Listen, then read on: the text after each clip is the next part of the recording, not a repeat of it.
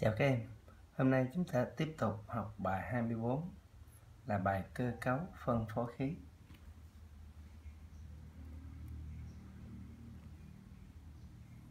Chúng ta sang phần một lớn nhiệm vụ và phân loại. Một nhỏ nhiệm vụ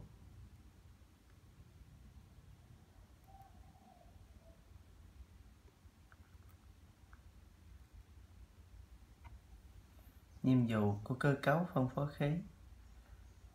Là có nhiệm vụ là đóng mở các cửa nạp, cửa thải đúng lúc để động cơ thực hiện quá trình nạp khí mới vào xi lanh và thải khí đã cháy trong xi lanh ra ngoài.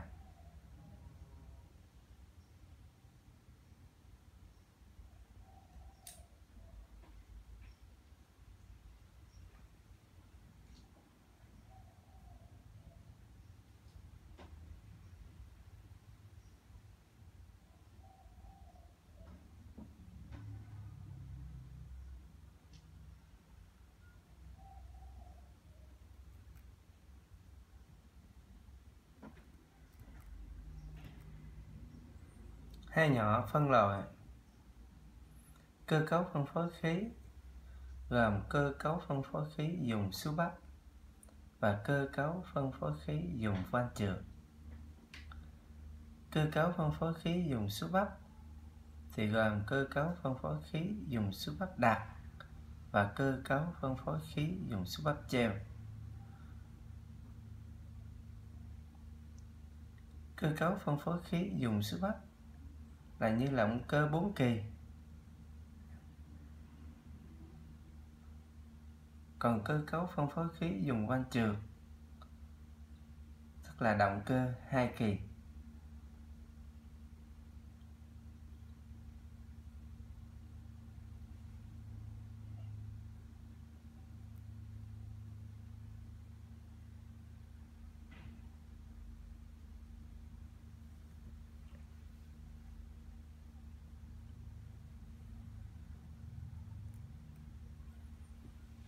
Chúng ta sang phần hai lớn. Cơ cấu phân phối khí dùng xúc hấp.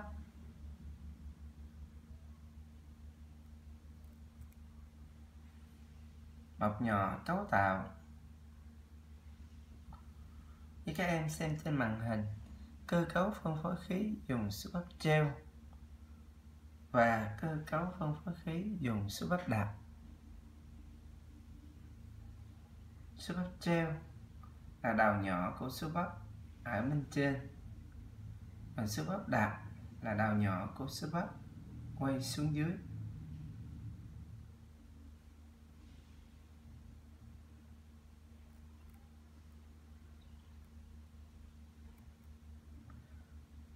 Cấu tạo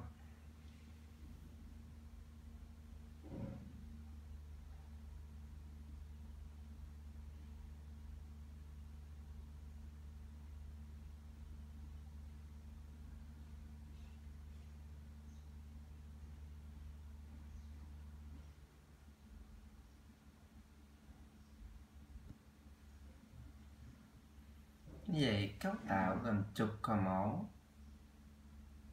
Cò mổ. Lò xo số bắp. Số bắp. Nắp mái Trục hủy. Con đòi Đũa đẩy.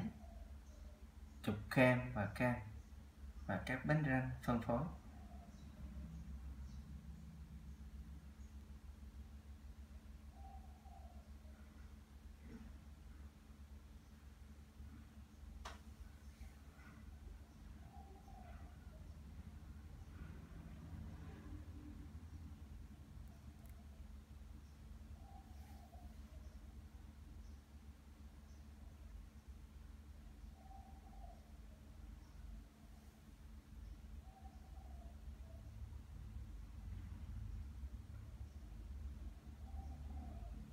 Các em xem trên màn hình cấu tạo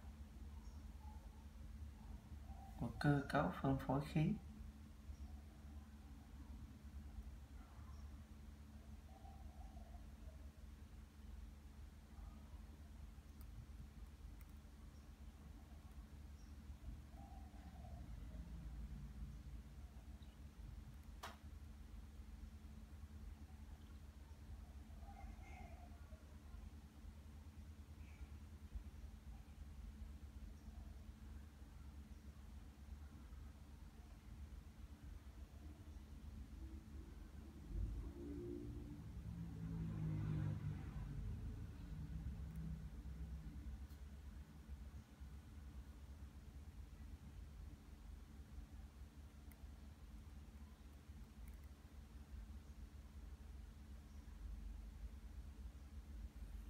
Vậy các em xem giữa cơ cấu phân phối khí dùng số treo và cơ cấu phân phối khí dùng số bắp đạt.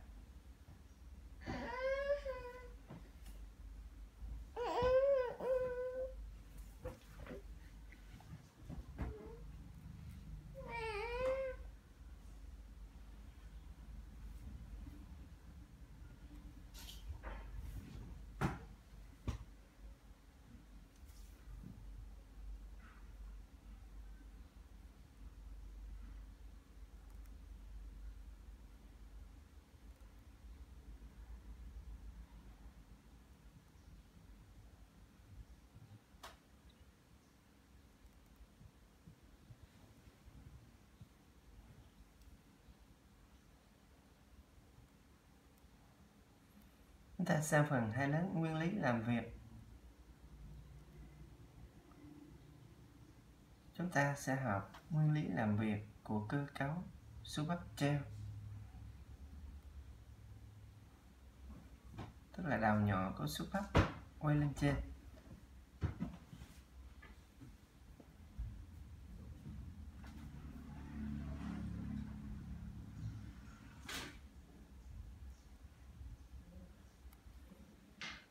Khi động cơ làm việc, trục phễu quay giãn động trục cam quay nhờ cặp bánh răng phân phối. Thì các em xem trên màn hình ha. Khi động cơ làm việc thì trục phễu quay thì nó dẫn động trục cam quay nhờ các bánh răng phân phối. Khi bố cam tác động làm con đội đi lên qua đũa đẩy làm cò mổ xoay ép xuống bắp đi xuống. Mở cửa nạp hoặc cửa thải. Thì các em xem ha. Khi bố cam và tác động làm con đội đi lên. Qua đũa đẩy làm cò mổ, xoay, ép xuống bắp đi xuống. Để mở cửa nạp hoặc cái cửa thải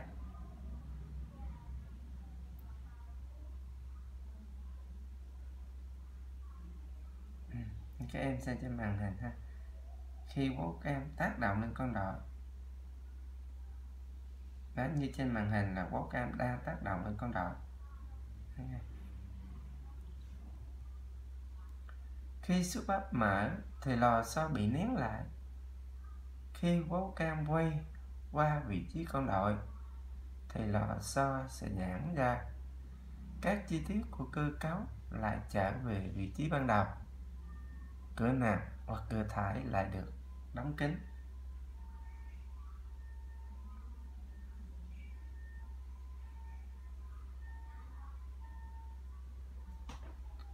Như vậy khi số bắp mở ra thì lò xo bị nén lại mà khi bố cam quay qua vị trí con đội thì lò xo sẽ giãn ra. Thì các chi tiết của cơ cấu lại trở về vị trí ban đầu. Khi đó cửa nạp hoặc cửa thải được đóng kín.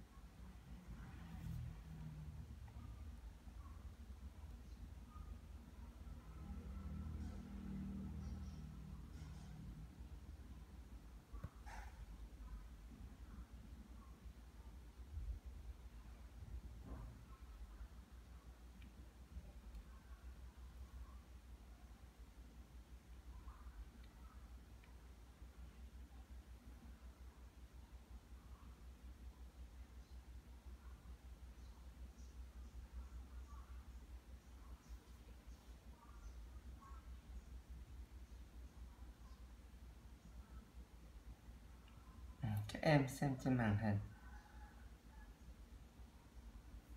Khi bó cam tác động lên con đồi thì số bắp sẽ được mở ra.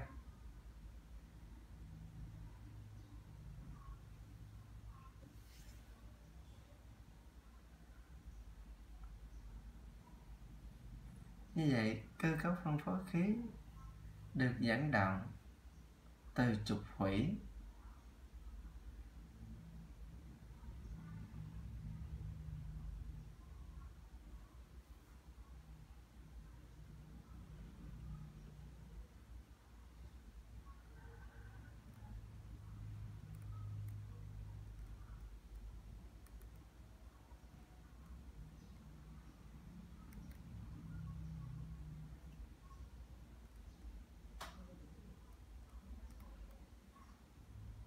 chúng ta xem trên màn hình một số hình ảnh chi tiết của trục cam hay vòi phun.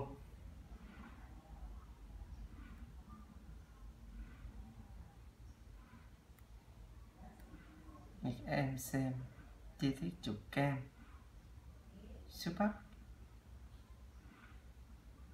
và con đội hay là lò xo?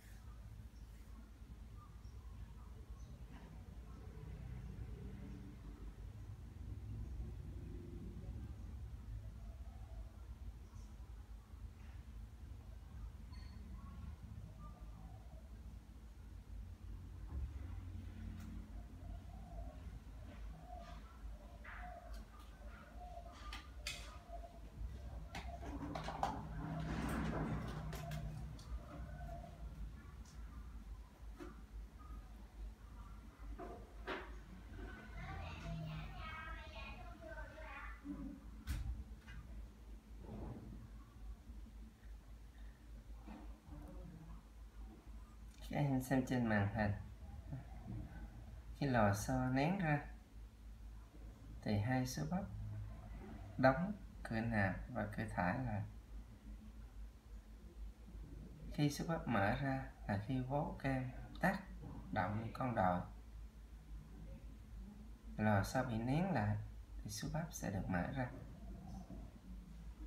Hay mà khi vố cam quay qua khỏi con đòi thì lò xo sẽ rạc giãn ra thì số bắp sẽ được đóng cơ nạp hoặc cơ thải lại.